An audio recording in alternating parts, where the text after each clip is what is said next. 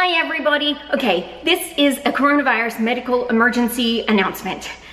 And if you're wondering, yes, I'm sweaty and gross. Yes, I just finished running. Yes, this is my real hairline. And no, I don't have any makeup on, but this was way too important.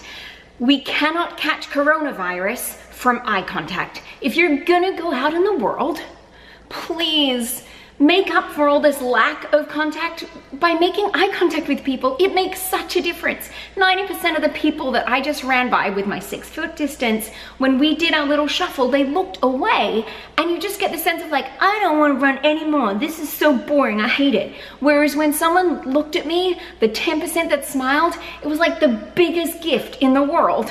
They, I was like, it's Christmas and I want to run a million miles.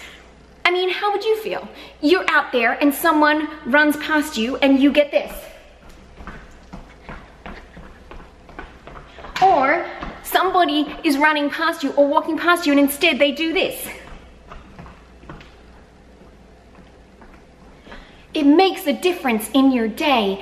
And if you don't feel like smiling, I'm not saying that you should go out and pretend that you're happy.